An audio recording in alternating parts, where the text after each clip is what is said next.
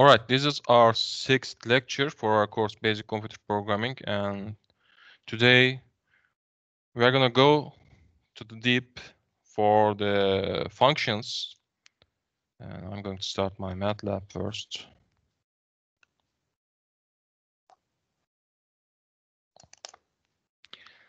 Last week, we have learned about uh, script files, so-called M files. And also we have learned how to define how to define our functions. And they can be called user-defined functions.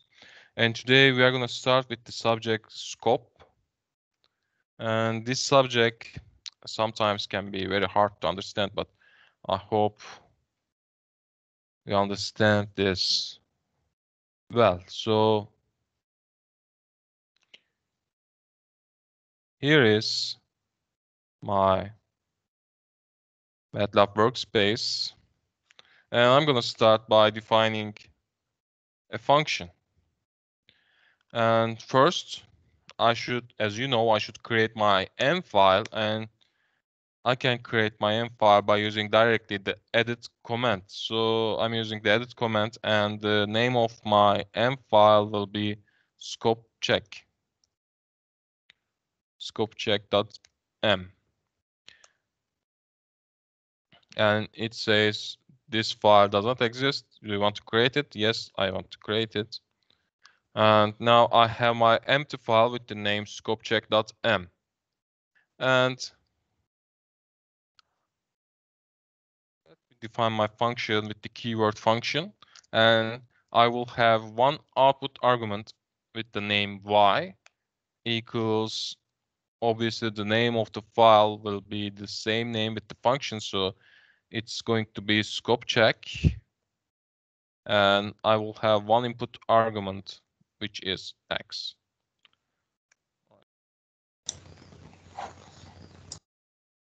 So in this function, I'm going to calculate something.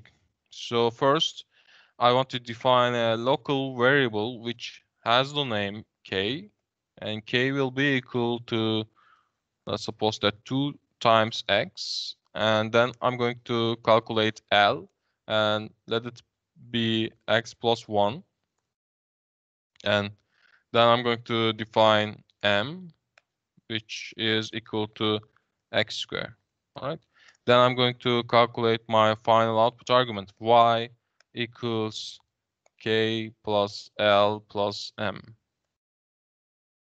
all right. So I have my little green box here. So I have no error with my code.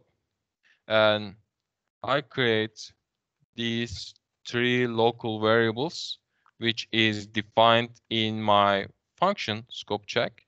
And then I'm going to calculate my output variable y, which is equal to k plus l plus m. And Hocam bizde hiçbir şey gözükmüyor. Ekran şu an simsiyah. Öyle mi? Paylaştım bir ama. arkadaş da aynısını söylüyordu da bana e, ekranı tekrardan paylaşabilir misiniz? Öyle yapınca düzeliyordu bazen. Olur. Bende gözüküyor. Tamam bir daha paylaşalım.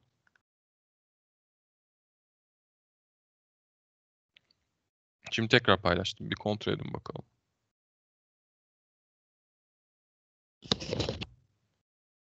Yine simsiyah duruyor hocam. Ben bir dersten çıkıp tekrar girmeyi deneyeyim. Belki Olur. düzelir.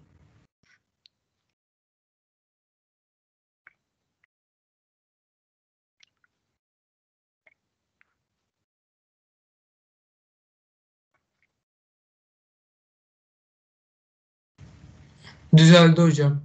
Tamam. Başka sorun yaşayan var mı arkadaşlar?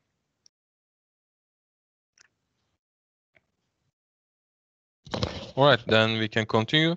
Now we have our function with the name scope check, and we have just one input argument x and one output argument y. But in this function, we have three local variables k, l, m. So I'm going to run my function from the command window. So I'm going to have a variable which has the name a and a will be equal to my function scope check with the value, for example, 5. So if I hit the enter button, scope check will calculate, will evaluate all the results for input argument with the value 5 and uh, find the final value for y and assign this value uh, to the a, to my variable. And please be careful at this area, to the workspace area, when I hit the enter button and variable will appear here with the name a and with the final value, which uh, whatever it is. So I'm going to hit the enter button now. And I have my variable here, a, and with the value 41. So, uh, sorry, I'm going to try to increase my font size. Font.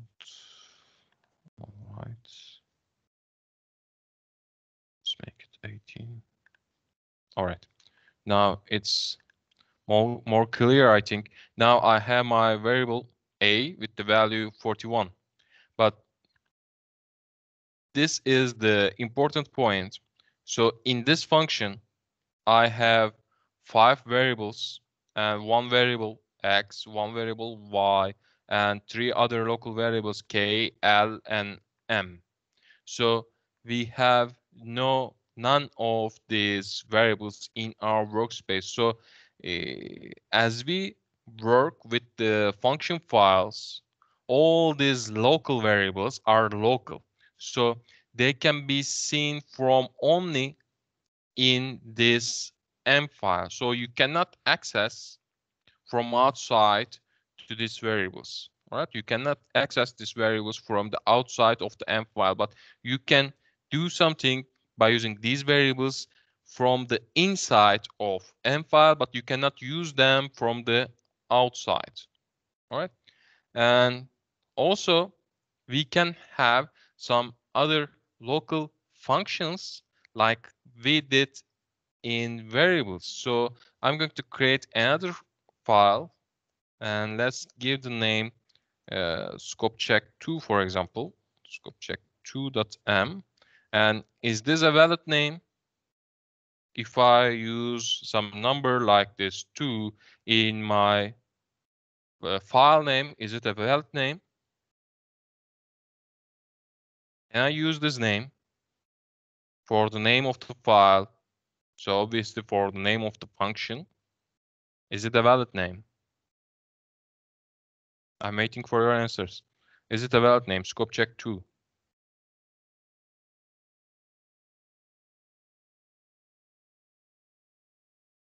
Yaşıyorsunuz mu gençler?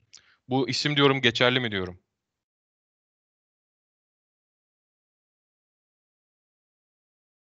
Evet veya hayır diyeceksiniz ya.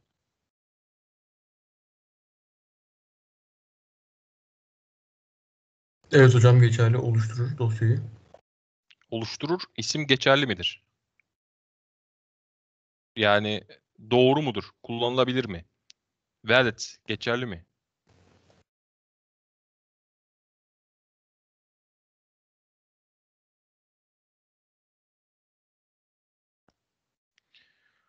Evet, bir öğrencimizin evet hocam geçerli çünkü harfle başladınız, e, rakamla da devam edebilir dediğini varsayarak devam ediyorum. Enter'a basalım. Alright, now we have our file, an empty file, an empty m file, and I'm going to define another function. So uh, I'm going to use my function keyword again and give the name scope check 2 and like we did in the other file we have one output argument y and one input argument x. And I'm going to define my function later. Before, uh, as we have learned last week, the name of the function must be the same with the name of the file. But also, the important point here, you should have a main function with the same name of the file name. All right. But you can another functions, another local functions in your M file.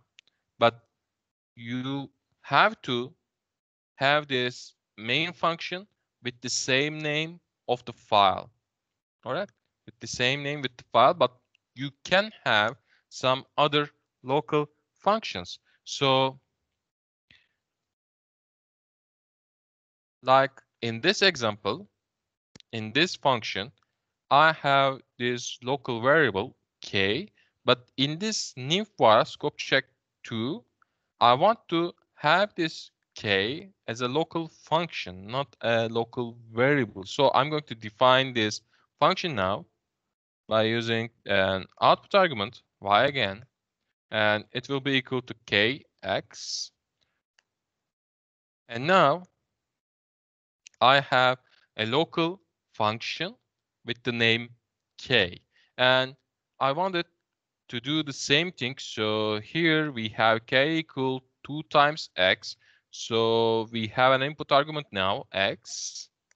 And I'm going to define the same thing. So y will be equal here 2 times x. All right.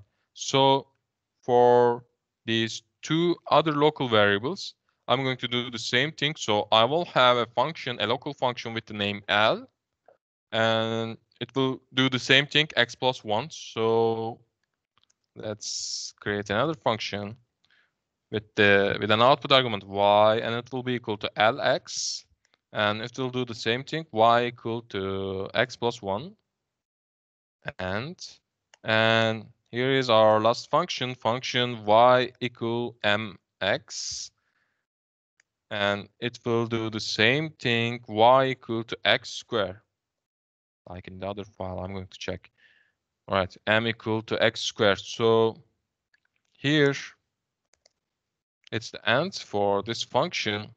So we have some warnings and what are they? The function m might be unused. Okay i'm going to use them. And also here is the same warning for l for the function l and for the function k. All right, I'm going to use them as we did in this file. So we have here y equals to k plus l plus m, and these were the local variables, but this time these are uh, some local functions. So I'm going to calculate y for the main function scope check 2, and y will be equal to k, but with the input argument. So it will calculate uh, Uh, the output for my input argument. So I'm going to use like the kx plus for the second local var for the second local function lx and for the third local function mx. So now we have no warnings. We have this green box and we have our functions. Now in the scope check 2.m, we have four different functions. And the main function is scope check 2 with the same name with our file scope check 2.m. And in this m file, I can have a lot of local functions and I can use them like in my main function. And now I'm going to check something. So and I'm going to use the white spaces by using the command format compact. And now I'm going to increase this size and I'm going to check. So let's clear the variables and clear my command window. And first I'm going to run this scope check.m again with the same input argument 5. So a will be equal to scope check scope check 5. And now, as you can see, we have no white spaces between these lines with the format compact command. And now I'm going to run the second file. And this time I'm going to assign the final value to b, to a variable b. So it will be equal to scope check 2 with the same value 5. And now I'm going to hit the enter button and I have two different variables A and B with same value 41 and 41. So these two files, um, can I? All right. These two files are doing the same thing.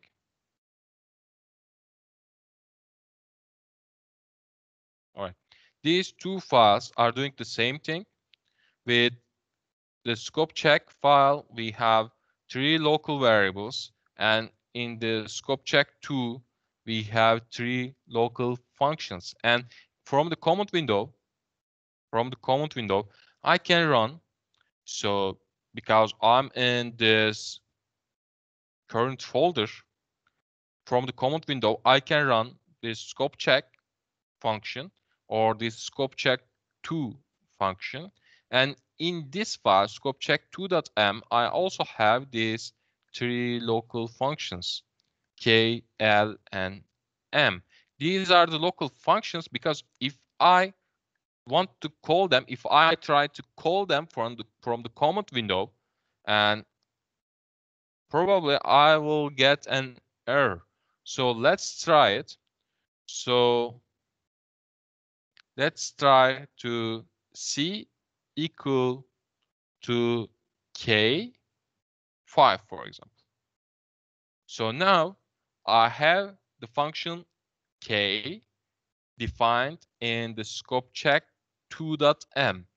So I have a function with the name k, it's defined. But if I hit the enter button from the command window, I will get this error, unrecognized function or variable k. So from the command window, you cannot call these local functions or uh, if you run a file like this, scopecheck.m, you cannot see these local variables. So they are local. They can only be seen from inside these M files. All right. You can run, you can call these functions k, l, m from inside of scopecheck2.m, but you cannot call them from the outside of this M file. So the only interface, the only interface between your M file and the command window is this main function, right? With the same name as your file name. So let me draw this, make you understand better.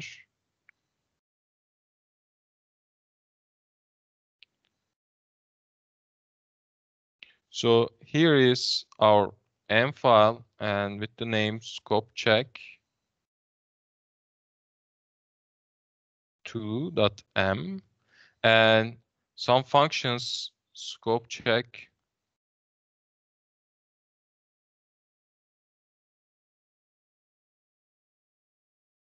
So be okay scope check 2 x. And here is our local functions k l and m. All right and this is our command window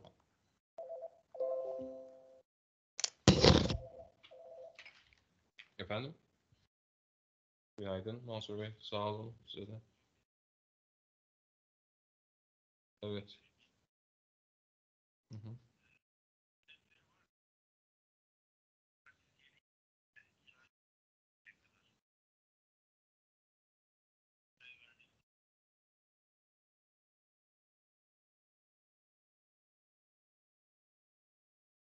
Olur bir kolaylık sağlayalım. Zaten zor durumdalar. Evet. Evet. Hı hı. Olur olur uygundur. Tamam. Tamam. Yani görüşürüz. All right. This site is our command window.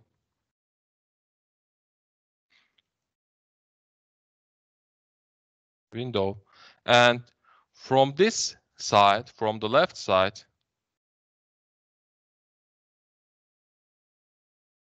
this operation is allowed, but let me use another.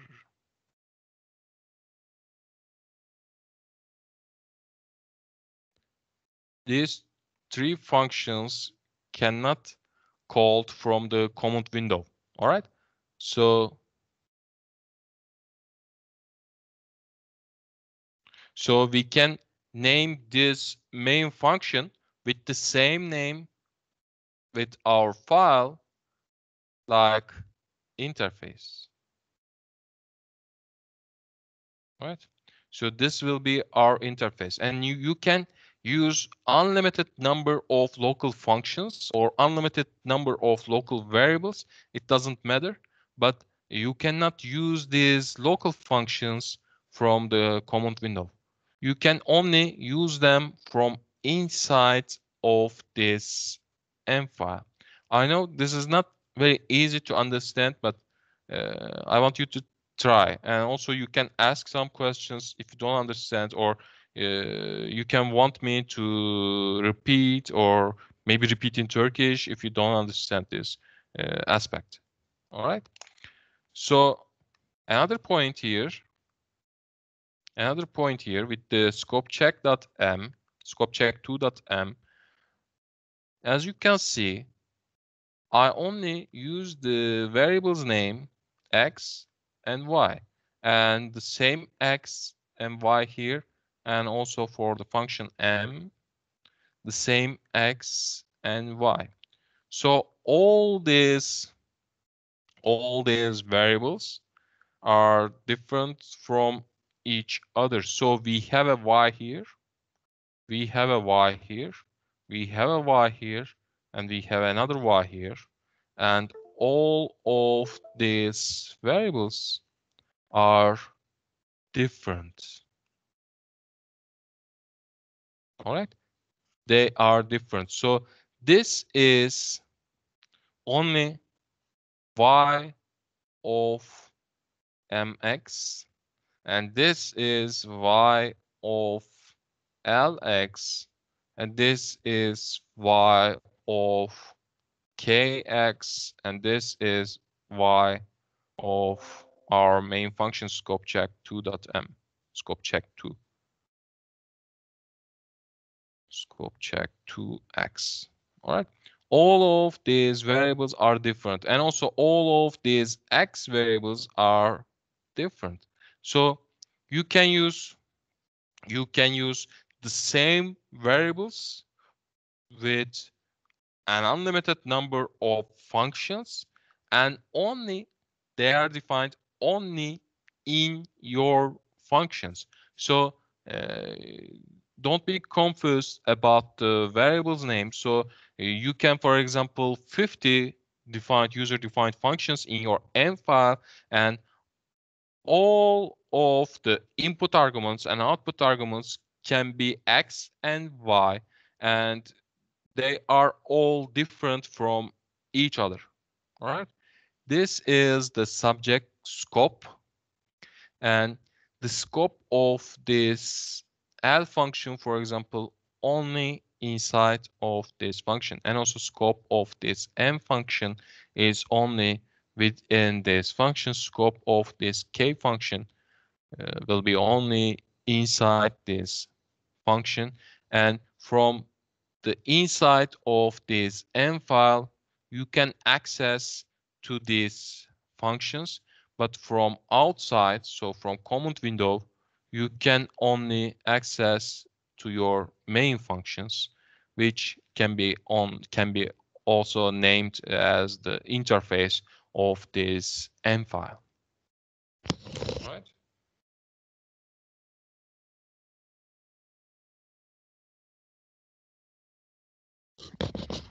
Do you understand this?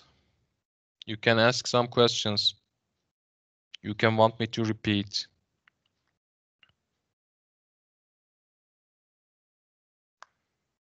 Is this okay?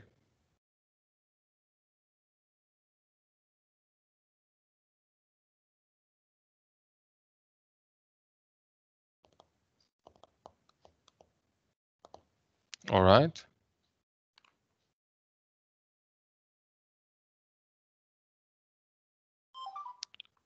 Türkçe bir özet. Şimdi arkadaşlar. Ee, Şurada scope check x'te yani birinci dosyada ne yaptık? Dosyanın içinde K, L ve M olarak 3 tane lokal değişken tanımladık. Bu lokal değişkenleri sonra y'yi hesaplamakta kullandık. Ama dışarıdan bu dosyayı çalıştırdığımızda scope check x'i şöyle mesela 5 değeri için çalıştırdığımızda sadece dışarıya bir a değerine eşit olmak üzere y değerini taşırdığını gördük. Yani attığını gördük. Dolayısıyla sen bunun içinde 50 tane de değişken tanımlasan ne yapmıyor bu değişkenleri? Senin workspace'ine koymuyor. Yani sen dışarıda çalışırken içerideki değişkenler içeride kalıyor. Dışarıya onların değerleri ve atamaları, tanımlamaları taşmamış oluyor. Dolayısıyla içeride istediğin gibi tanımlama yapabilirsin. Diğer tarafta scope check 2'de ise aynı işi bu sefer yerel fonksiyonlarla yaptık. Yerel fonksiyonlarla nasıl yaptık? Ee, bir tane scope check 2 fonksiyonu tanımladık. Onun içinde K, L ve M'yi bu sefer fonksiyon olarak çağırdık. Aşağıya da bu yerel fonksiyonları tanımladık. K fonksiyonu ne yapıyor? İşte x 2 ile çarpıp geri döndürüyor. L fonksiyonu ne yapıyor? 1 ekliyor, geri döndürüyor. M fonksiyonu ne yapıyor? Karesini alıyor, geri döndürüyor. Yalnız buradaki bu dosyayı tanımladığın zaman, klasörüne attığın zaman şuradaki gibi ne oluyor? Sen aslında buraya 4 tane fonksiyon tanımlamış oluyorsun.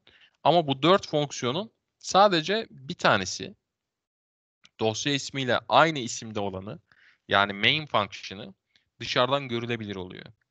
Diğerleri dışarıdan görülemiyor. Dolayısıyla sen command window'da bu şekilde K'yi çağırdığında mesela diyor ki MATLAB sana ben K'yi bilmiyorum ki diyor. K'nin görülebildiği tek yer bu scope check 2.m dosyasının içi. Başka hiçbir yerden görülemiyor. Sadece bu dosyanın içinde çalıştırabilirsin. Ha bunu mesela L'nin içinde de çalıştırabilirsin. L'nin içinde de buraya diyebilirsin ki işte e, y eşit x eşittir atıyorum mesela.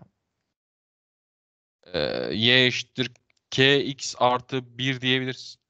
K'yi buradan da görür. Çünkü niye? K bu dosyanın içinde tanımlı. Ama dışarıya bunun tanımladığı tek şey dosya ismiyle aynı isimde olan ana fonksiyonu, main fonksiyonu. O main fonksiyonunu o yüzden bu dosyanın interface'i gibi yani arayüzü gibi e, tanımlayabiliyoruz. Aynı zamanda da ne dedik? Mesela bu dosya bu fonksiyon için x'i input argümanı yaptık. y'yi output argümanı yaptık. Güzel. Altına yerel fonksiyonları tanımlarken onlar için de input argümanları x, output argümanları y verdik. Burada da x verdik. Burada da y verdik. Burada da x verdik. Burada da y verdik. Bu x'lerin y'lerin hiçbiri birbirine karışmaz. Çünkü bu y sadece bu fonksiyonun içinde tanımlı şu anda. Bu y mx'in y'si. Buradakiyle karışmaz. Tamam. Bunların e, kapsamı, skopu sadece kendi içlerinde geçerli. Ha bazen şunu yapmak gerekebiliyor. Buradan mesela bütün globalde görünen bir e, ekstra fonksiyon tanımlamak gerekiyor ama bunlar hep hata aslında. Çok yapmayı tercih ettiğimiz şeyler değil. O yüzden yapmasanız iyi olur. Hatta öğrenmeseniz bile iyi olur. Çünkü amatörlüğe e, sevk eden şeyler oluyor. Bazı şeyleri atlatmak için böyle şeyler yapıyoruz. Başka sorusu olan varsa geçmeden sorun arkadaşlar. Önemli bir konu. Anlayalım.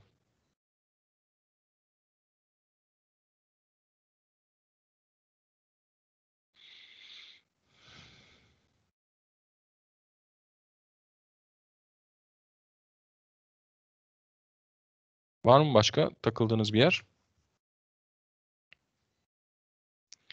Bugün çok sessizsiniz. Sessizliğinizi konudan artık kopuyor olmanıza mı yorayım?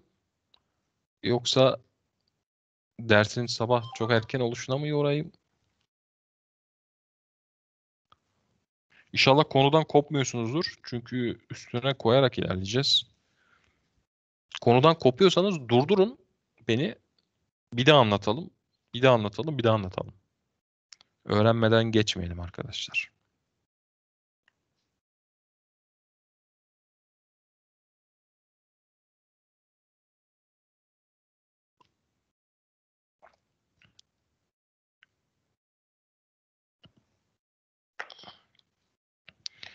All right. If there is no questions, I can continue. Now, another point here is the help documentation of the user defined functions. So I'm going to close this scope check and I have only scope check two now. And as I write the name of the function to the command window, uh, let me please follow. Let me try, for example, uh, d equal to scope check 2. And if I use the parentheses now, like this, MATLAB will try to help me. MATLAB understand this. Yes, there's a function with the name scope check 2 and the user will use this function now, will call this function now, and uh, I can help if I have uh, help documentation for this function. But uh, because of I defined this function, there is no documentation about this function now. But I can define this documentation. How can I do this? I'm going to delete this now and I'm going to return into this M file and I'm going to use a special area for this documentation for to def for defining this documentation. And at the end of this first line function y equals to scope check 2x at the end of this first line i'm going to hit the enter button to create a new line here. And i'm going to use the percentage symbol this. This is the comment sign for matlab. So if you write here something, these are only notes for the developers. You know, you can see from you can see these comments, these writings from inside these M files, but uh, MATLAB will not evaluate or will not run these lines, will pass these lines. All right. So these are only notes or these uh, are used to define to these uh, like documentations. And I'm going to use this line to create a user defined documentation about my function scope check 2. So I'm going to give the name of my function scope check 2 and this will be an educational function to and I'm going to use another percentage symbol to make this line a comment line. So to teach the scope concept. All right. And here is another comment line. And this will be equal to this will this line will show the usage of the function. So y will be equal to scope check 2 x to run the function. And also I can give another recommendations which is similar to my function. And uh, I will make this with the See also part. And See also for example let's uh, give some uh, irrelevant examples uh, sine or cosine or sum so now I'm going to try the same thing from the command window.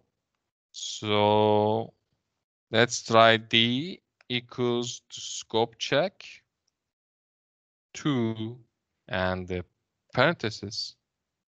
And MATLAB will try to help me and I can click this more help link to get uh, documentation about my function and I'm going to see the same thing which I defined here. And as you can see, we have our name of the function here, scope check 2. And here is my uh, small description of my function, educational function to teach the scope concept And also here is the usage, y will be equal to scope check 2.x and it, it's saying, yes, you can run my function like this, like in this example, to run my function. And also see also part uh, transforms to links to these functions, as you can see. And all these uh, uppercase letters will transform to lowercase letters like this. And this will be some special parts for uh, this part, for example, the name of the function, and also for this part uh, to the name of the function, and also for this See also part with the names of the functions like these links. All right. So we can also see this documentation from the command window like help about scope check 2 and we can also see the same documentation like this.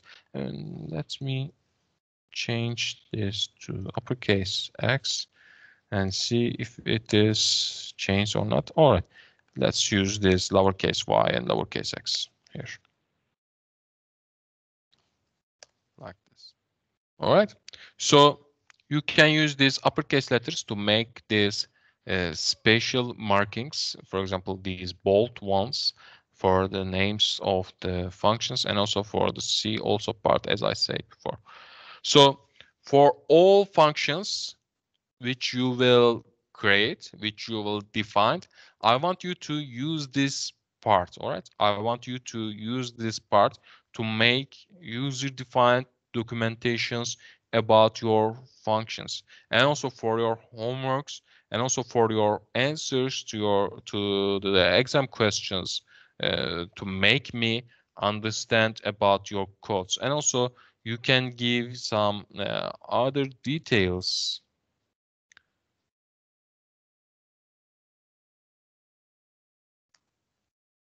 And also they can be uh, note for yourselves. And uh, we can put uh, date for example. This is uh, 2021 and let's give the name author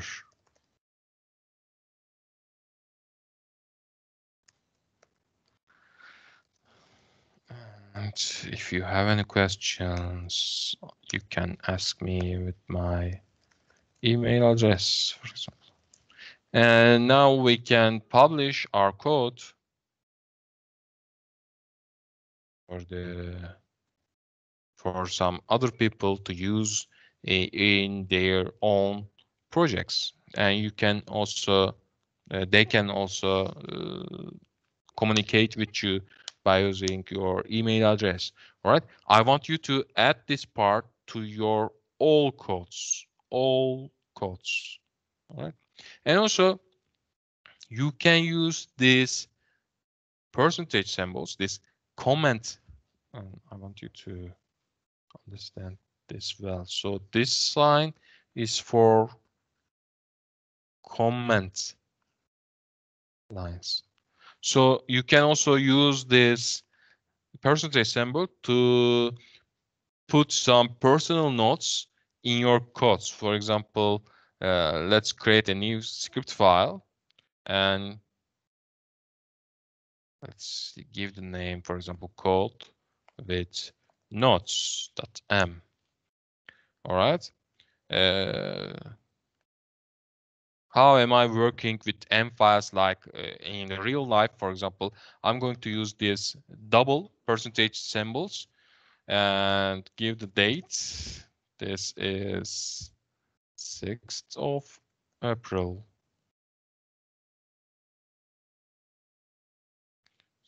So give the name of the project. Project. Put code with notes. And now uh, let's create a main function with the same name, like like the like our uh, M file, and this is function y will be equal to code with notes. That's x.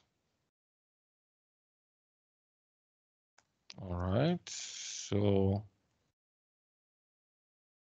this part will be the main function or we can call it interface like I said and let this is will be equal to y and I'm going to use uh, some other names sub1 for example plus sub 2 and sub 3 all right. Now to to uh, to create some different areas i'm going to use this double percentage symbol again like this. And i'm going to use the name sub1 and this is the first sub function. All right now i'm going to define my other function y sub 1x and this will calculate the y equal to x over 2 for example. All right. Now for the third part i'm going to use this double percentage symbol again and create sub 2 second sub function and it will calculate also some other thing. y sub 2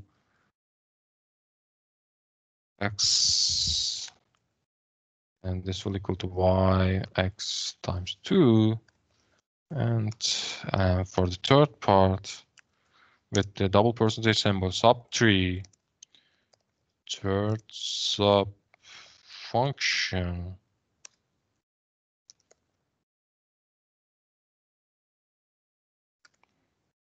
let's make it y equals to x to the power of 3 and and now we can work with uh, some big files and make them all these sections separate from each other so if i click to this part i can see the limits of this part all right and also I can see the limits of this part and also I can see the limit of this first part.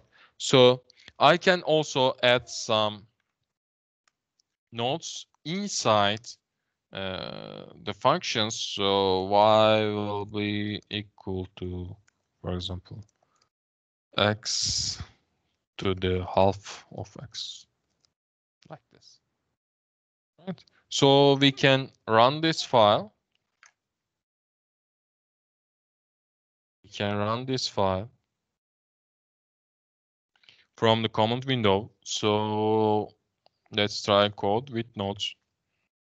And also if I hit the top button, top button, you know, the symbol uh, near of Q, uh, if I hit the uh, top button after uh, I write the some uh, first characters of my function. So for example, let's write code with and hit the top button to complete to make MATLAB to complete my function name if if there is a relevant name with the this first character. So code with notes and let's try with the value 10 for example if I hit the enter button so MATLAB will pass will pass this line MATLAB will pass this line this line and see the defining of my function and make this do this evaluation and make these calls to my sub function sub 1 sub 2 sub 3 and from here it jumps to here and doesn't see this line because it's a comment line and also doesn't see this line uh, so it's a comment line. Uh, and only a developer a programmer can see this line and so we can use these lines as personal notes. So it jumps to here to find the defining of uh, sub definition of sub one, and then evaluates this part, and then returns to this part and pass to this side to to search the definition of sub2 function and it jumps to here and doesn't see this line. This is a personal note and then evaluates this line to find the value of this output argument y and returns to here again and pass to this part and looking for the definition of sub3 function and jumps here and doesn't see this line and evaluate this this line to find the value of output argument y and then jumps here again and find the final value for y and returns y value to here comment window. All right? I want you to use this comments line so much. All right? I want you to use them a lot. So besides these comments or for the lines use them a lot and uh, put some personal notes inside your codes to make them understandable.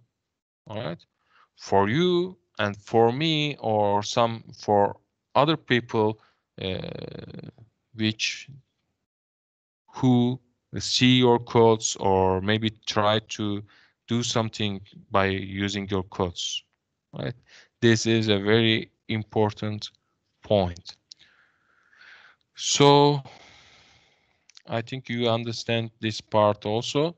If you have any questions, you can ask now.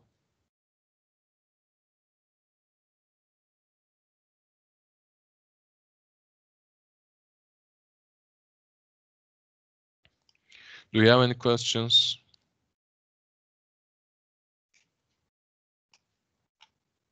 So until now, we have learned about the scope and we have learned about Hocam the yüzde olduğu zaman başlık gibi oluyor aslında değil mi? Yani kısımları ayrı, ayırıyoruz değil mi? çift yüzde yeni bir e, section başlatıyor. Hem de şey oluyor değil mi? Ra- Run dediğimiz zaman sadece bir kısmı yapabiliyoruz yani. O butonlarla alakalı. Yani bunu e, fonksiyon dosyası değil de normal e, şimdi onu da göstereyim iyi hatırlattın. Mesela new script dedin. Fonksiyon tanımlamıyorsun da şeyler tanımlıyorsun. Yani ilk öğrendiğimiz gibi script dosyası yapıyorsun. Mesela x eşittir 5 dedin. İşte a eşittir 1 dedin. b eşittir 2 dedin. c eşittir 3 dedin. Atıyorum. Burada fonksiyon yok mesela. Sonra dedin ki işte ya burada ne olsun? İşte k eşittir a artı b, a artı b artı c olsun. E, l eşittir a eksi b artı c olsun. m eşittir a eksi b eksi c olsun dedin.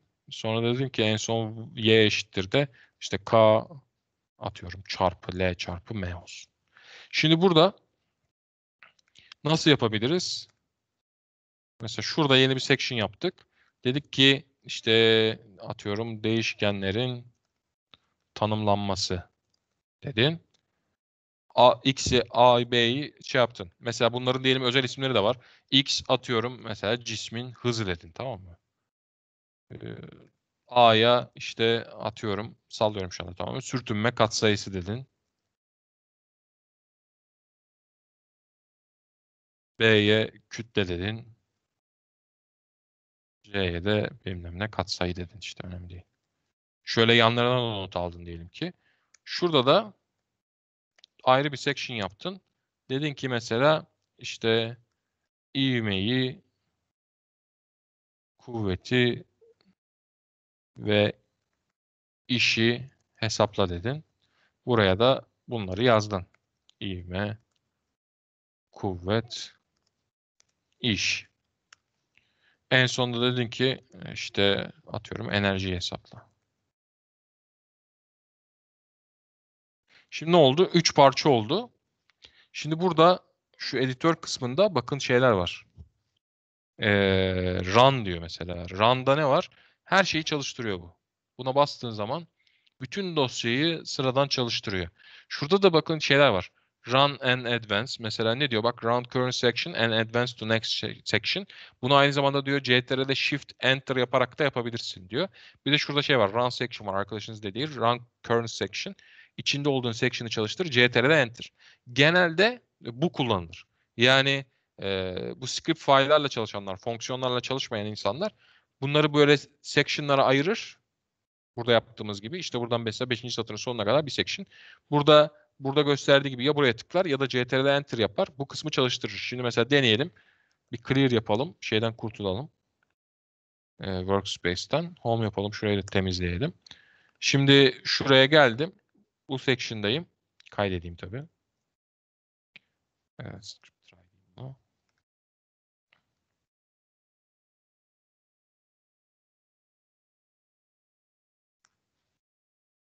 Tamam. Şimdi buradayım. CTRL enter yapıyorum. CTRL enter yapınca bakın workspace'e dikkat edin. A'yı, B'yi, C'yi, X'i tanımladı. Devam etmedi.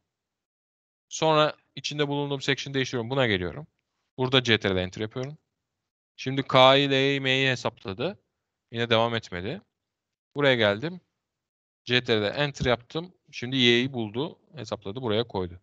Şimdi bu neye yarıyor biliyor musunuz? Bu şuna yarıyor. Aslında programlamada böyle bir şey olmaz. Programlamada bir kere de hazırlarsın çalıştırırsın. Ama hani ilk başta biraz bahsetmiştim ya. Bazı programlama dilleri yorumlanan programlama dilleridir. Bazı programlama dilleri e, derlenen programlama dilleridir. Hani demiştik ya MATLAB e, yavaş bir dildir. Neden? Yorumlanan bir dildir. Yorumlanan dilde ne yapıyor? Bütün gerekli kütüphaneleri baştan yüklüyor. Senin için e, komutları bekliyor ve o satırları gördüğü anda çalıştırıyor. Tıpkı buradaki gibi parça parça çalıştırabiliyorsun kodunu. Şimdi bu sana neyi sağlar? Buraya gelirsin. Şu X'i, A'yı, B'yi, C'yi tanımlayan yerleri çalıştırırsın. Sonraki section'a geçersin. Mesela şuradaki gibi burada ne yapmış? CTRL'de Shift Enter yapalım. Şöyle yaparsın. Bak atlıyor. Parça parça çalıştırırsın. Buraya geldiğinde atıyorum mesela buranın hesabı, ilk section'ın hesabı bir saat sürüyorsa o bir saati tekrar harcamadan sadece şu ikinci section'a değişiklik yapıp bu kısmını tekrar çalıştırabilirsin. Sana onu sağlıyor. Dolayısıyla bu temel manada yani genel şeyde bütün e, kodu çalıştırırken bir yavaşlığa sebep oluyor. Ama böyle denemeler yaparken de senin işini kolaylaştırıyor. Çünkü niye? Hesap bir saat sürecek. Yarım saati bir section, yarım saati bir sectionsa yarım saatlik section'ı bir kere çalıştırıp kenara koyabiliyorsun oradan gelen sonuçları. Ve o sonuçlarla sürekli işlem yapabiliyorsun. Atıyorum mesela şimdi e, bu değişkenlerin değeri böyle kafadan verilmeyecektir de bir dosyadan okunacaktır. Sen dosyadan okuma kısmını buraya ilk section'a koyarsın. Onu bir kere çalıştırırsın. E ne yapar bu sefer her denemende o dosyadan bir daha okumak zorunda kalmaz. Sana zaman tasarrufu yaptırır yani. Geliştirirken daha kolay olanlar işte böyle yorumlanan diller. Çalıştırırken daha hızlı, daha kolay olanlar da derlenen diller oluyor. Öyle bir fark var. Arkadaşımız çok güzel hatırlattı. Teşekkür ederim. Section'ları ayırmanın e, böyle de bir faydası oluyor. Eğer script dosyası kullanıyorsanız buradaki gibi. Genelde Türkiye'de nedense böyle script dosyalarıyla çalışmak tercih ediliyor ama e, uluslararası şeyde de e, genelde böyle fonksiyonlara ayrılıp e, fonksiyonlar çağrılacak şekilde yapılır sistemler.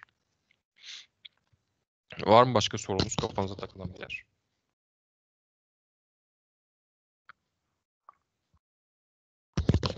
Yani arkadaşlar bir MATLAB kodunun görünmesini istediğimiz şekil bu.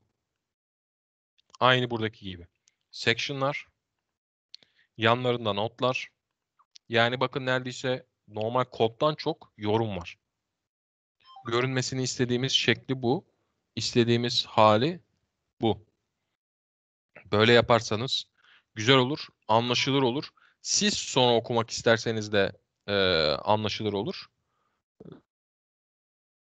başkası da okumak isterse anlaşılır olur. Şu ASV dosyasını soran olmuş. Bunlar bu şeyi depolayan ee, bir dakika. Şurada açalım bakın. Gördüğünüz gibi şey backup'ı yazarken depolayan onu kapatabilirsiniz. Çok önemli değil yani.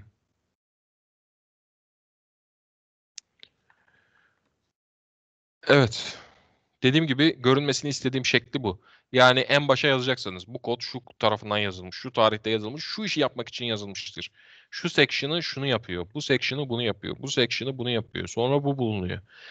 Ondan sonra mesela bir kod var arkadaşlar. Yazıyorum.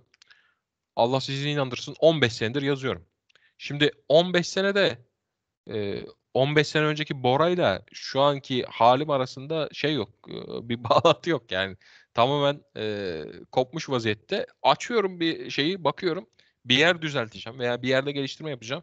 Ulan bir, bir, bir fonksiyonunu 3 sene önce yazmışım. Bir fonksiyonunu 11 sene önce yazmışım. Bir yerini 8 sene önce yazmışım. Kenara koymuşum. Bir yerini geçen sene yazmışım. Hatırlamıyorum yani. Emin olun bu işler böyle olur. Neyi neden yaptığınızı hatırlayamazsınız. Ee, kod okumak kod yazmaktan daha zordur.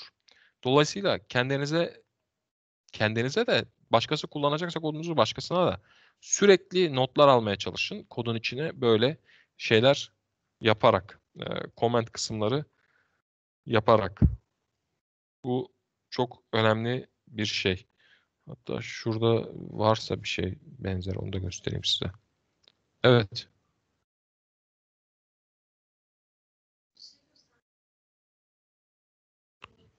Tamam 11.30'da gelsin biliyorum ne göstereceğini.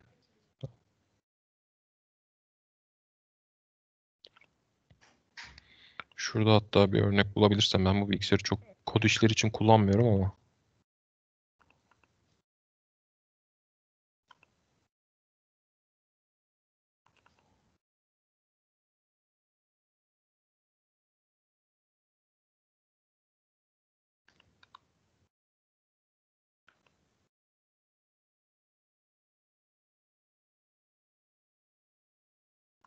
Ben mesela kodu yazmışım hiç şey koymamışım, not koymamışım. Şimdi neyi nasıl, neden yaptım ben de hatırlamam yani. Burada da başka kod tutmamışım. Ha belki GitHub'tan bir şeyler gösterebiliriz bir dakika.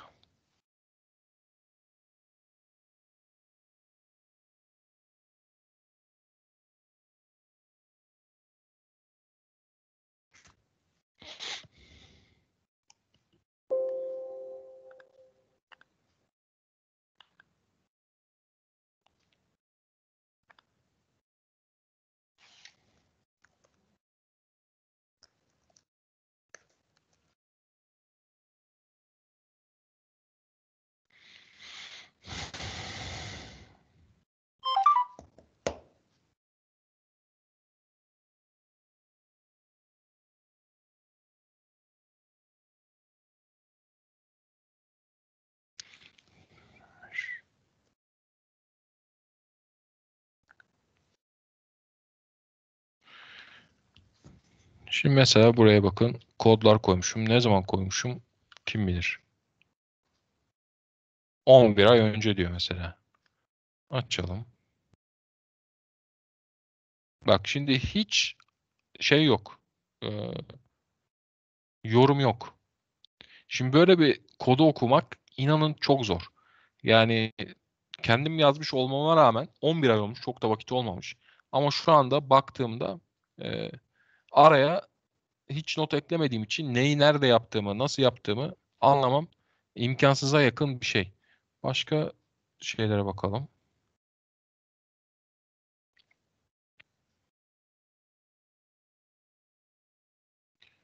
Mesela şuna bakalım. Ne zaman yazmışım bakın 8 yıl önce. 8 yıl önce yazmışım. Bakın içine o kadar çok not eklemişim ki ilerleme raporları eklemişim. E, ritmi kısmını eklemişim. İşte şunu yapın, bunu yapın, şu kodu kullanın. Şöyle yapıp kurabilirsiniz. Bu kütüphaneler lazım. Bu kütüphaneler yoksa kullanamazsınız. Şunlarda şunlarda test edildi. Kurmak için şu komutları vereceksiniz. E, macOS X'te şöyle yapacaksınız falan filan diye bir sürü şey eklemişim içine bakın. Şimdi bunun kullanımı daha kolay. Niye? Bakın dosyaları ayırmışım. Ee, neyin nasıl yapıldığını mesela işte. Kitap ekleyen kod buymuş. Başına şey eklemişim. Ee, sen söyle. Lisans anlaşmasını bile eklemişim mesela bakın.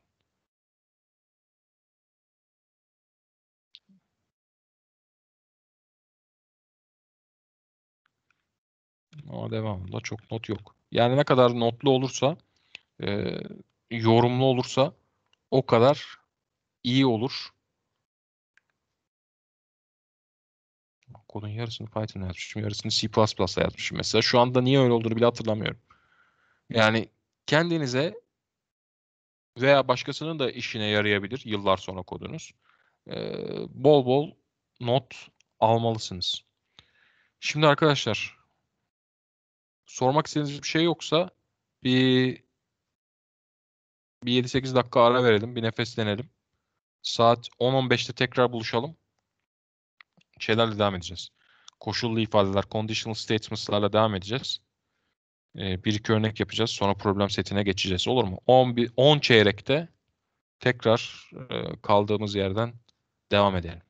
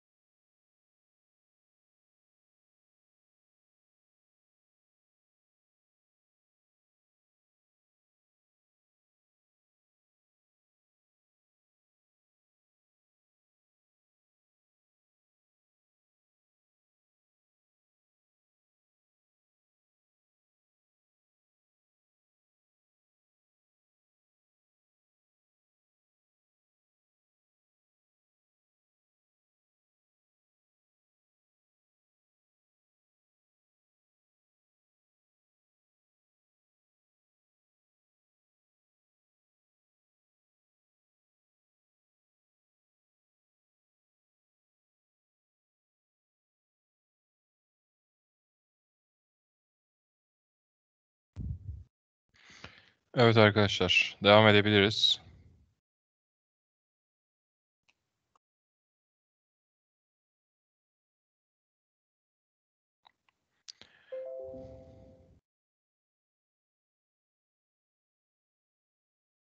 All right. Now, uh, our new subject is the conditional statements. And to learn the conditional statements before uh, we should learn about the Boolean variables. So first, sorry, first, I want to write something about the Boolean variables.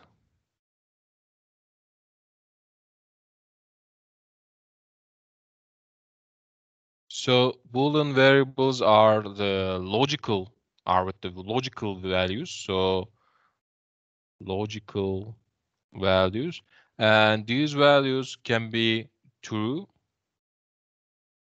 and false. So, uh, for example, we have uh, some variables in our workspace now. They are A, B, C, K, L, M, and X and Y. So we can give the whos command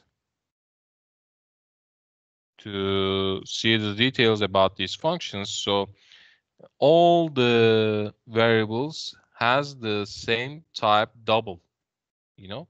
So we have the class column here and we have a name column which has the names of our variables and we have the sizes and uh, we have learned about the sizes of the variables and they are now uh, one by one matrices so we can call them scalars and also we have their classes here so the types of the variables and all of these variables are in double type so they are numerical values so double type is the default uh, type for the numerical values in MATLAB.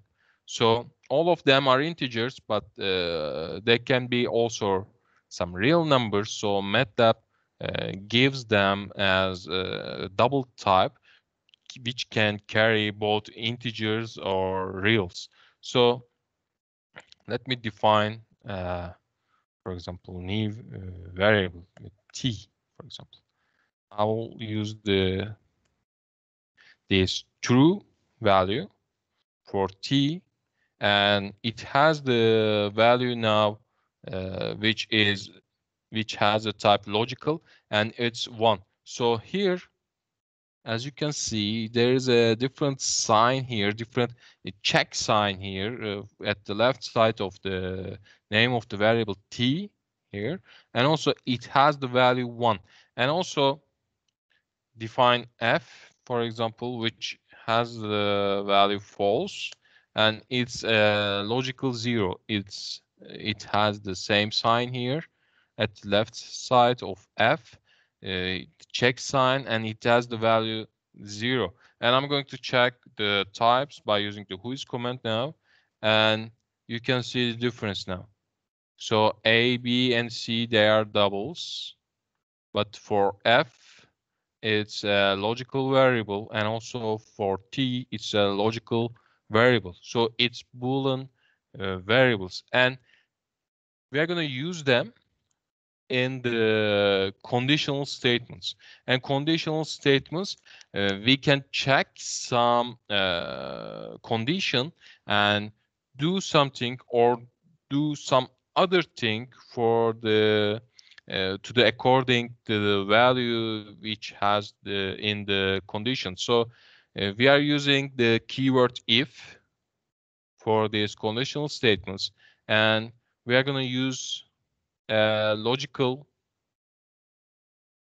logical statements inside these parentheses and if uh, this logical value is true we are going to do something like we defined, which we defined in this section inside of an if section. So we are gonna end this section with an end keyword. And let me try inside a new script file. I'm going to create a new script and give the name condition try, for example. And let's define uh, first clear this workspace with clear command and also I'm going to give the home command to make a fresh start. So I'm going to define a t here again uh, with the true value and I'm going to define f with the false logical value. And all right. And then I'm going to use the if command and it says if t then I'm going to use an output command with disp all right. And it, it will say the condition is true and give an end all right Hocam ekran görünmüyor ama bende mi acaba sorun? hiçbir şeyi değiştirmemiştim ekran paylaşımını da kapatmamıştım başka göremeyen var mı Ekran gitti hocam bende de siyah gösteriyor. Gözüküyor hocam. Yok hocam şu an gözüküyor. Tamam ben yenileyim hocam. bir gir çık bakalım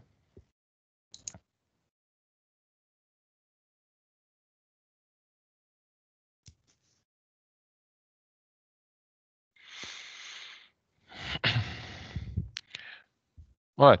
So here we try if t. So if inside our parentheses uh, will have the logical value true, then it will run this part, this section, which uh, which give an output to command window, including the condition is true sentence.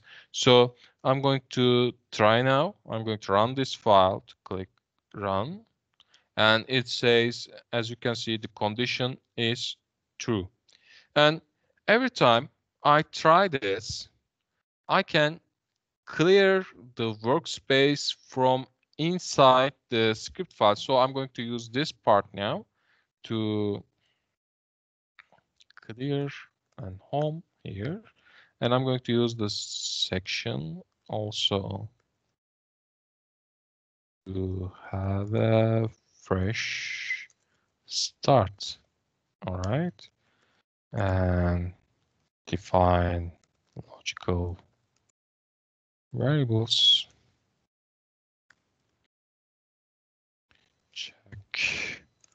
With an if structure. All right. Now we have our codes and now we can we have our values f and t in our workspace but if I'm going to run uh, the script file, the whole script file, all sections from my uh, m file condition try.m, then first it's going to clear my workspace, then it's going to clear my command window with the home command, and then define t and f again, and then run this part again. So I'm going to run this file again, and it works. So I'm going to change this condition from t to f, which has a false value. So I'm going to run again. And now, as you can see, we have no output and I'm going to run again and we have no output. I'm going to run again and we have no output. And also, we can try some other conditions and also we can use an if and else structure. So uh, we we we don't use this and here, and let us use an else here, and use some other commands, and then end here. So we can use an if block, if structure like only with one condition and uh, some comments if the condition is positive condition is true and also we can increase the size and we can use an if and else structure to make it uh, two ways make it both ways so let's use else here and make it t so this the condition is false. All right, so let's run again. What is the warning here? This statement cannot be reached. All right, I know. All right, run again. And now we have the output condition is true. But if we make it F, and now the output is condition is false. All right, so we have our condition inside the parentheses of if structure. Then uh, we then it runs this part if the condition is true, and it runs this part, but the, if the condition is false. And also, let's make it uh, let ma- make it a guess game, for example.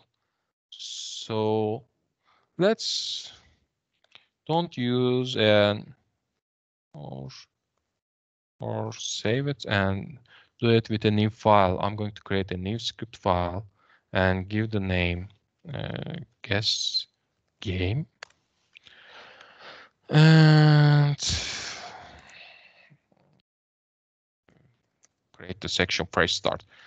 And I use this part always with the clear and home command to make a fresh start. And let's generate a random number random integer between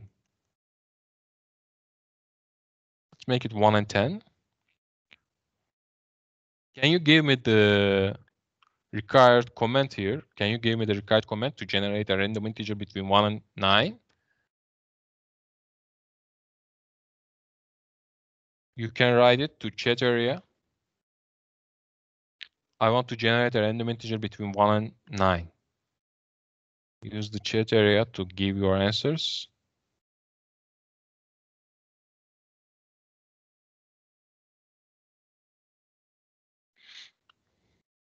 I want you to generate a random integer between 1 and 9.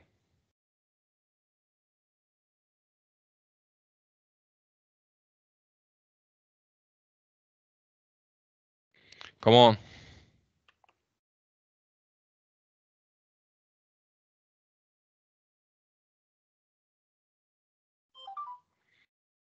All right. Rand 1 9 with the size 1 1. Uh, it's true, but it's you are using Berkay, you are using the wrong command. Uh, you can use rand by using a transformation because rand will generate a random number between 0 and 1 and it will generate a real number. But if you use rand i, then uh, you will generate a random integer uh, by using these arguments. So let's change it with rand i. So rand i uh, between 1 and 9 and with the size 1 and 1 all right this will be a scalar and i'm going to assign this value to r. So let's uh, ask a question to our user. Ask user to guess our number. So uh, let's make it x equal to input and let's define the prompt and give a number between 1 and 9 all right like this. All right. So now uh, i want you i want to compare two numbers with an if structure and I'm going to compare them if x will be equal to r then I'm going to show the output as you win for example else you lose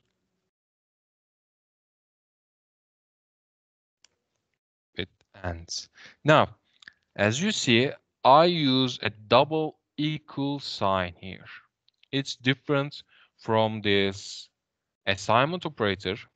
As you remember, I said, I said you uh, this assignment operator is the not same thing with the equal sign like we have in mathematics, but this is the equal sign.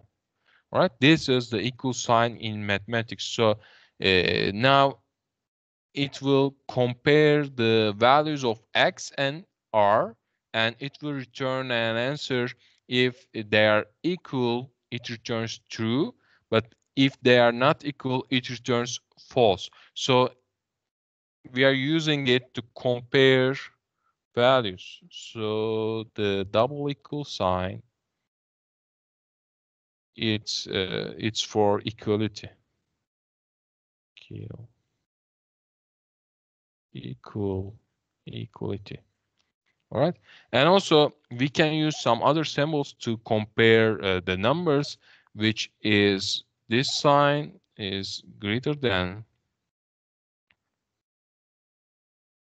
and also this sign is less than. And also its uh, modifications like greater or equal or less or equal.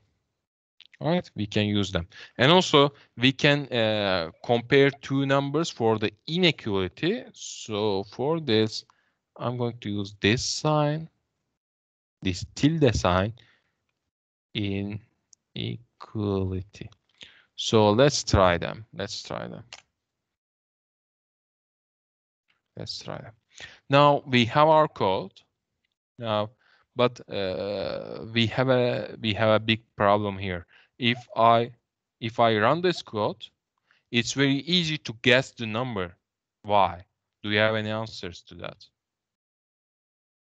If I run this script file like this, there will be a very big problem and it will be very easy to guess the number. What is the problem here?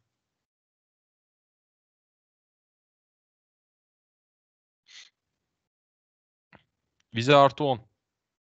Cevap verene.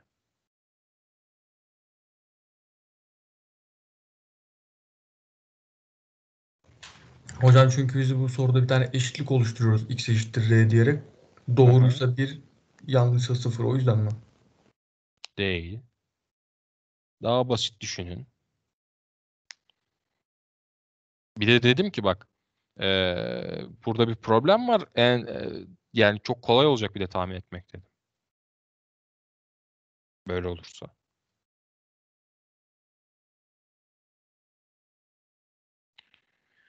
Vize artı 10. Hocam 6. satırdaki parantezi mi kapatmamız gerekiyordu? 6. satırdaki parantez kapalı ya. Bak. Ben çekeyim. Şöyle. Tamam.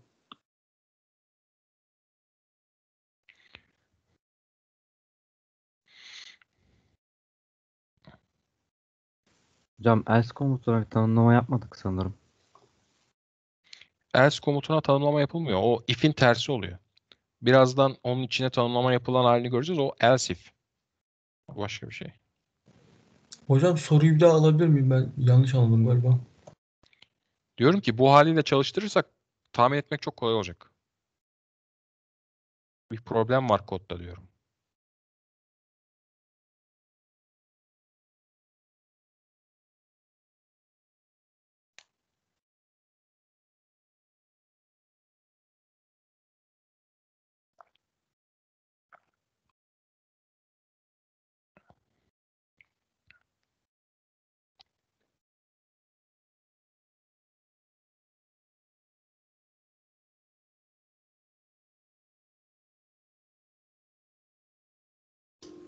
Hocam R'yi tanımlamadık galiba. R'yi tanımladım bak şeyde. E, nerede? Dördüncü satırda. Ne yazmış? True ve false'u silecek ilk başta. Yo. Silsin. Bunlara ihtiyacım yok. Ben F ile T'yi kullanmıyorum ki. Ondan koydum zaten. Silsin diye koydum bu kısmı. Silmek istiyorum. Silip sıfırdan başlamak istiyorum.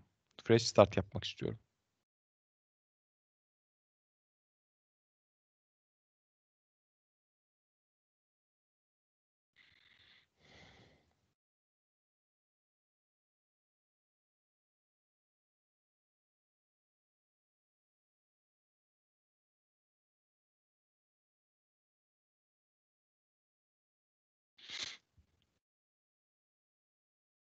Düşünün ya.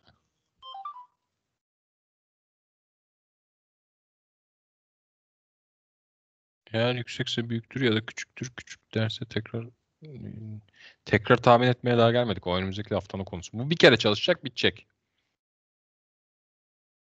Bir kere çalışıp bitiyor bu.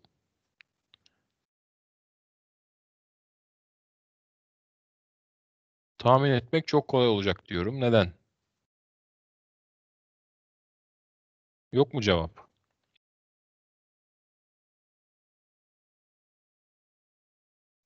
Birden fazla mı değer atayacak hocam? Yok. Değil. Tek değer. Şuradan 1 çarpı 1 bir tane rastgele sayı üretiyor. Sonra da soruyor. Onu da karşılaştırıyor. Bir değer.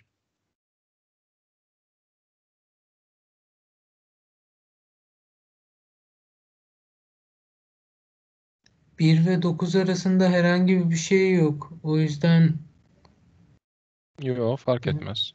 Deneyeyim şurada hatta bak. Renday 1 9 demiştim ya size command window denemek için diye bak bunun gibi bir tane üretelim şurada bakın. Yürüyor. Bir sıkıntı yok. 9 2 9 6 1 bir sıkıntı yok çalışıyor. Virgül de koysan çalışır. Demiştim ya bu kolumlarda virgül olsa da olmasa da fark etmez. Ben orayı virgülsüz elim alışmış. Öyle kullanıyorum. Sorun değil virgül de olabilir. Engel değil yani.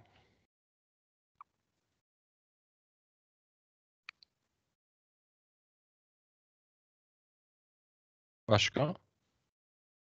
Yok mu? Devam edeyim. Bedava 10 puan iyiydi ya. X'i R'ye eşitlediğimiz için olabilir. X'i R'ye eşitlemiyoruz. Bak X'i R'ye eşitlemek için kullansaydık tek eşittir yani assignment operator kullanırdık.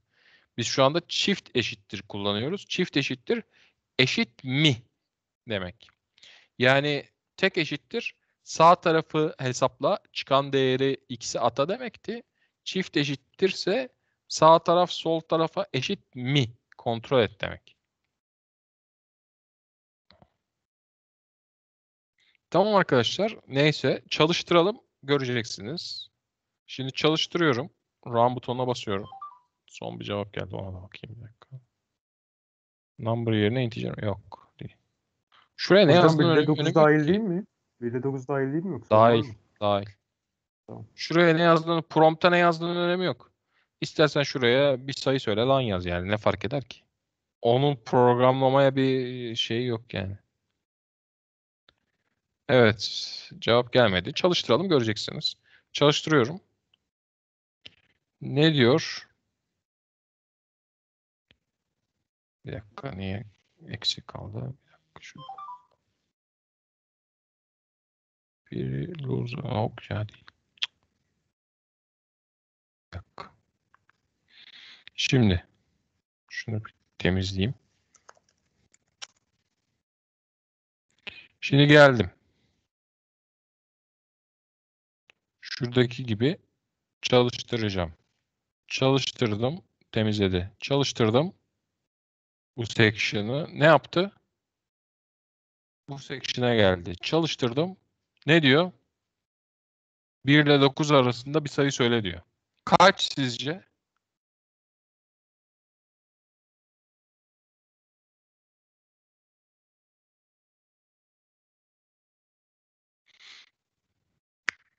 Gençler biraz gözünüz açık olun hadi ya. Kaç sizce sayı? 4. Nereden çıkardın 4'ü? Sağ üst köşede yazıyor hocam. Sağ üst köşede yazıyor. 4 diye. Tamam. 4 girdik. Niye vermedi bizim output'umuzu? Çünkü burayı çalıştırmadık. Şimdi burayı çalıştıracağız. You win dedi. Şimdi siz sayıyı önceden üretirseniz ne olur? Sonra sorarsanız workspace'e R değerini çakar. O yüzden bunun yeri yanlış oldu. Bunlara bu tarz hatalara arkadaşlar semantik hata deniyor. Yani sen burada yeşil kutuyu aldın. Kodunda hata yok diye, kodun doğru çalışacak diye bir şey yok. Sen önce işin mantığını düşünmelisin. Semantik hata yapmamalısın. Tamam? Dolayısıyla neyi ne zaman yapacağını bileceksin. O zaman şunu alacağız. Önce x'i soracağız. Şunu şuradan alıyorum. Ve koyuyorum. Şimdi oldu. Şimdi önce x'i soracağım kullanıcının haberi olmadan. Sonra r'yi üreteceğim. Dolayısıyla şey yapmış olacak. Kurtarmış olacak. Göstermemiş olacağız. Yapalım. Çalıştırdık. Sayı istiyor. Genelde hep 7 deriz böyle sayılara. Basalım. Kaybettin diyor. Şimdi bunu biraz genişletebiliriz. Buraya kadar anlaşılmayan bir şey var mı? Devam etmeden önce.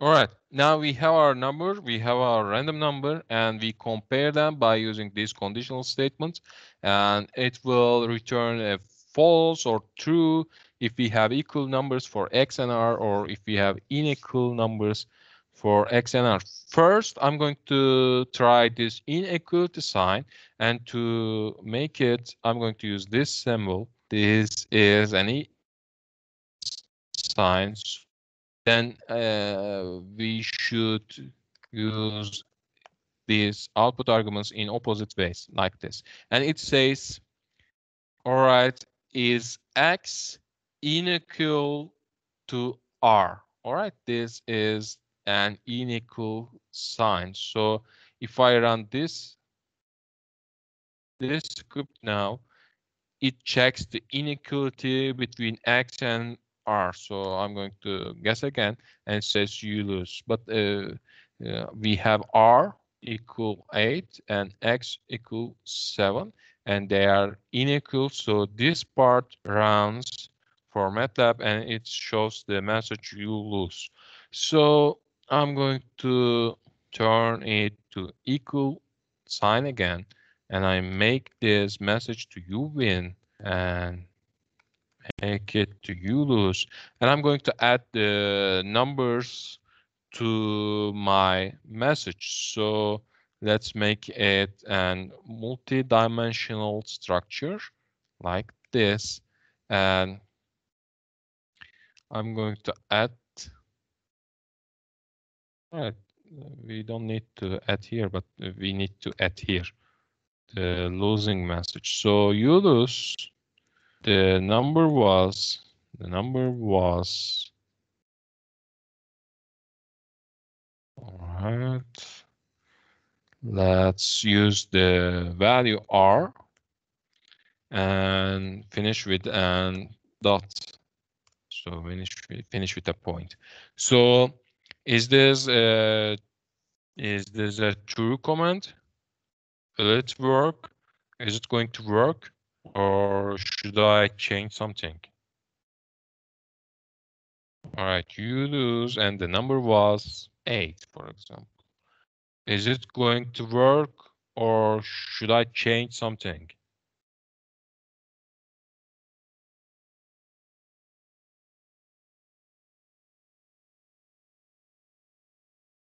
Is it going to work? All right, let's try. Let's try. Run and give five for this time and no it did not work you lose the number was and it doesn't say the value of number y Köşeli parantezi daha önceden kullanmak gerekiyor. Vaz'dan sonraki tırnak işaretinden sonra. Değil mi? şurada mı Evet. Şöyle kapatmak gibi mi Aynen böyle yaparsak olmaz. Sonra diğerini silmek lazım ama. R'yi tırnak işaretine alacağız.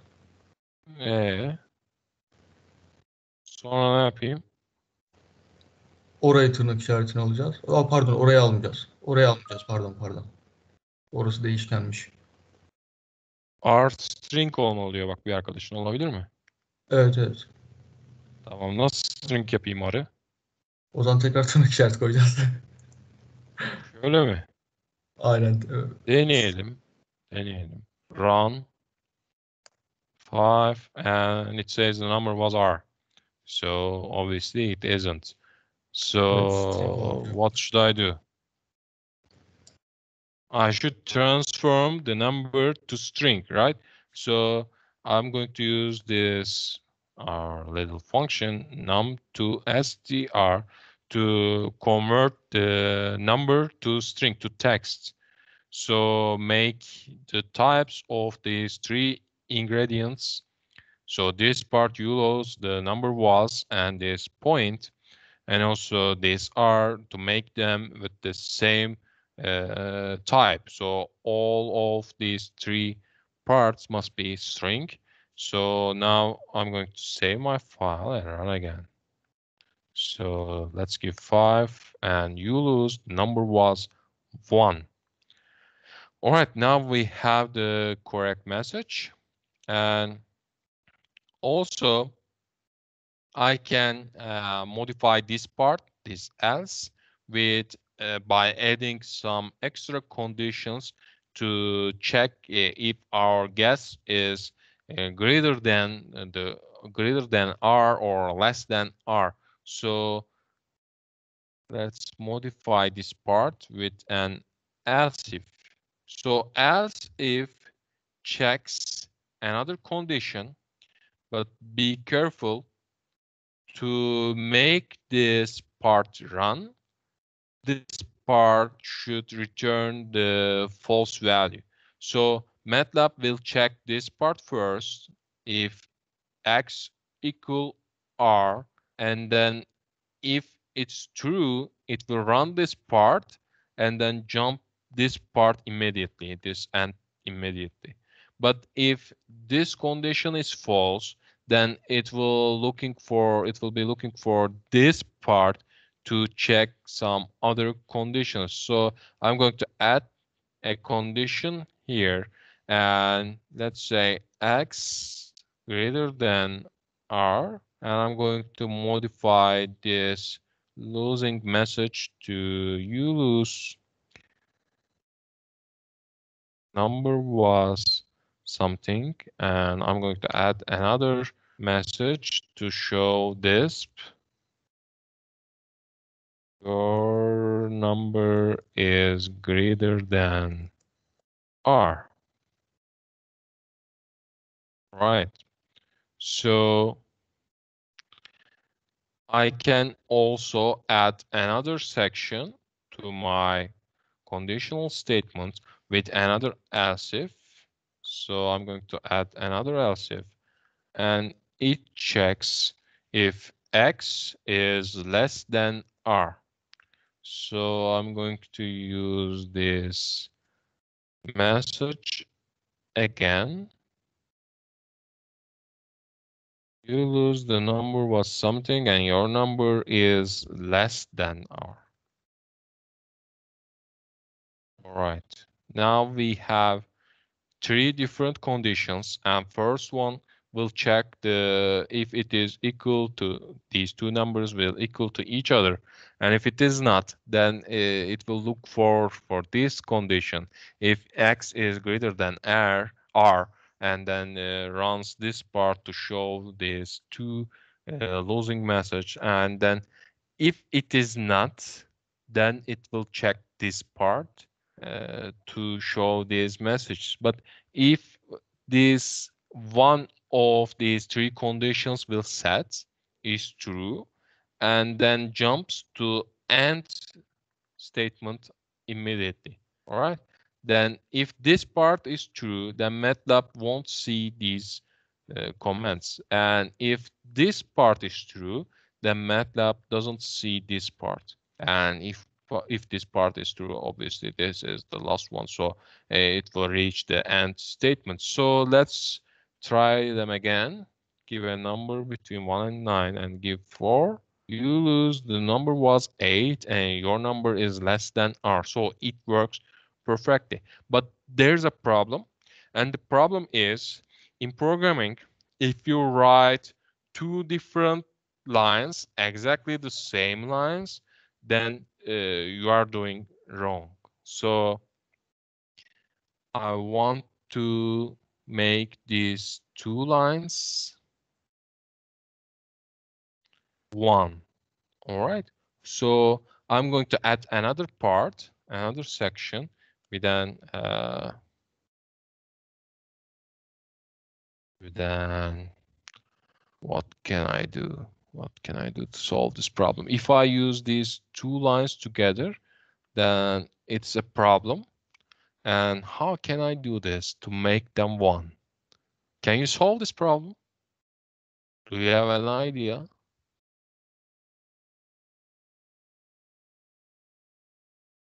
Sorunu anladınız mı? Birden fazla aynı satırı kullanıyorsam yanlış yapıyorum demektir. Daha doğrusu şöyle söyleyeyim yani kaba çözümü uyguluyorum demektir. Amelelik yapıyorum demektir. Bir satırı birden fazla kere kullanmamam lazım. Demek ki algoritmamda bir sıkıntı var. Çözüm mantığımda bir sıkıntı var. Çünkü niye? X R'ye eşit mi kontrol et diyorum. Eşit tamam kazandın değilse X R'den büyükse kaybettin diyorum. Bir de üstüne büyüktür mesajı yazdırıyorum. Eğer X R'den küçükse yine kaybettin. Yine aynı mesajı yazdırıyorum. Burada problem var. Bu mesajları birleştirmek istiyorum. Nasıl yapabilirim?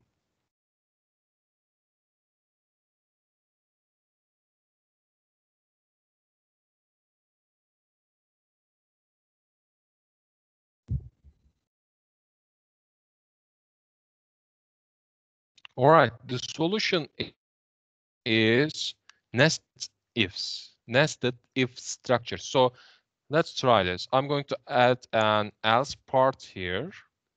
If x is equal to r, then if it is not, then run this part. And I'm going to cut this line here.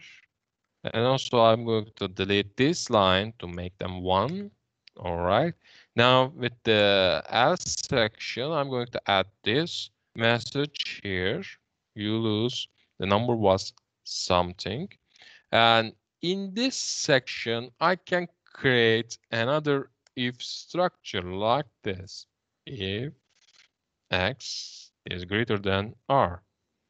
So now I can use this message here in this if structure and then I can use an else here and then give the other message if your number is less than r. So use an and here and I am no longer need this part. So our structure becomes like this. Now it runs like this.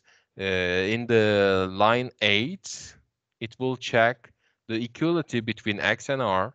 If if they are equal to if they are equal to each other, then this comment this line will run. If it is not, first this line will run, and it says you lose. The number was something, and also this if structure will run, and it will check if x is greater than r. Then if it is, it says uh, with this this comment your number is greater than r. If it is not, so obviously that uh, x is less than r. So you can make this line with an else or with an else if. It will be the same thing. All right, it will be the same thing. So because it limits the possibility uh, with the values of x and r. So we have this output message, your number is less than r. So let's try this, save and run this file. Give a number between 1 and 9. Give 4 and you lose, the number was 9 and your number is less than r. So it's the same thing, but uh, we no longer use this line twice, all right? We use this line only once. If you use one line, one uh, the same comment more than once, then you are doing wrong, all right? You should modify your code to make them simple, to make it simple, right? You just use one line once. So we can use this structure and also we can use if else or if else if else if else if else if with unlimited number of else if and then an else together. And also we can use uh, some nested uh, if structures uh, inside each others to make uh, some complex uh, checks. All right. So i think this is enough for today. And if you have any questions you can ask now. And also we can have a problem set for today in grader let me delete this part and grader.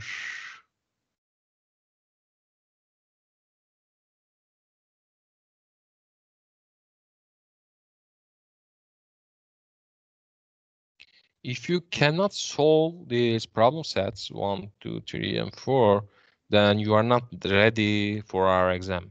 Right? You can check yourself by using these problem sets.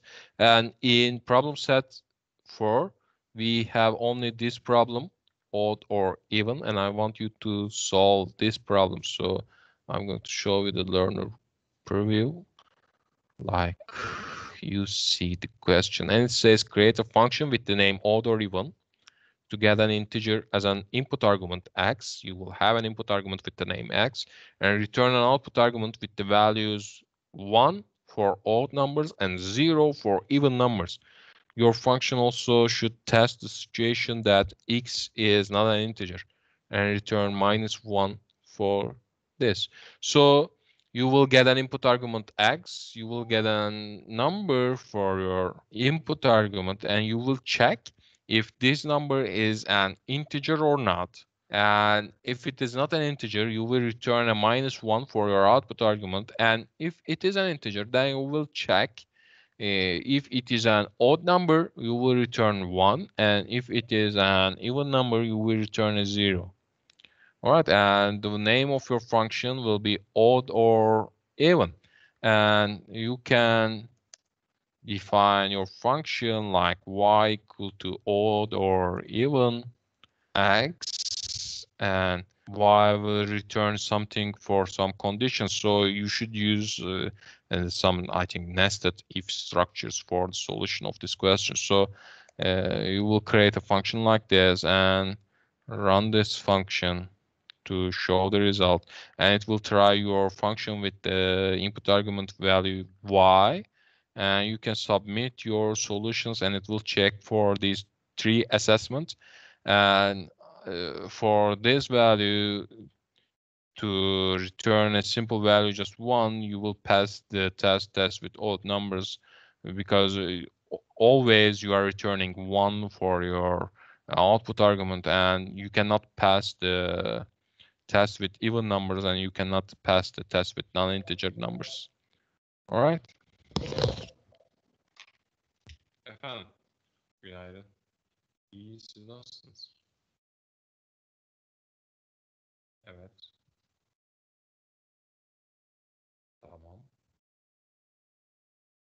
Evet.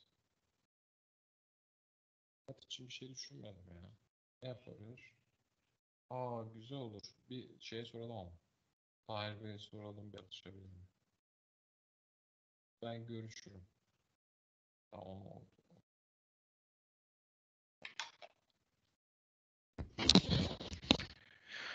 All right, this is our lecture for today. This is the end, and I'm closing, I'm stopping the recording. And if you have any questions, I'm here for at least two minutes.